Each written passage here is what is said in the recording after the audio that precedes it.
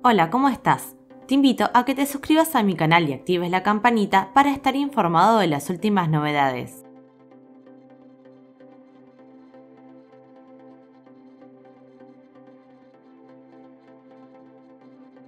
Esta semana, la Administración Nacional de la Seguridad Social abrirá su calendario de pagos para las jubilaciones y pensiones de octubre.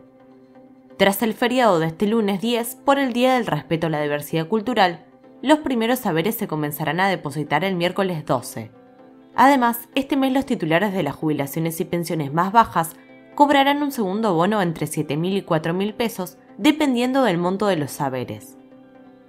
Sin embargo, para que los jubilados y pensionados de ANSES puedan cobrar en tiempo y forma este mes, primero deberán dar la fe de vida.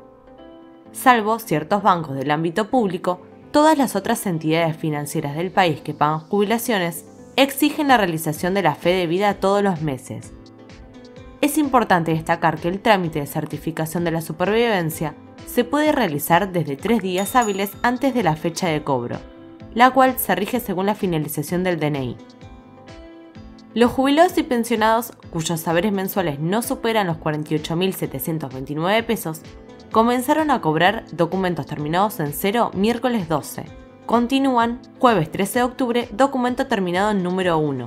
Viernes 14 DNI terminados en número 2 y 3. Lunes 17 documentos terminados en número 4. Martes 18 DNI terminado en 5. Miércoles 19 DNI terminado en número 7 Viernes 21 documentos terminados en número 8 y lunes 24 DNI terminado en número 9.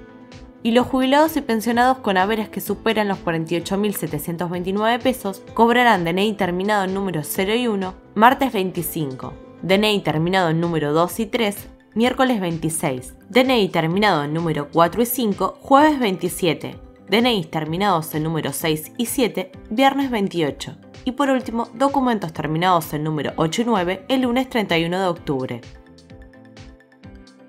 Si estos videos informativos te interesan, suscríbete al canal gratuitamente y regalanos un like. Gracias por elegirnos.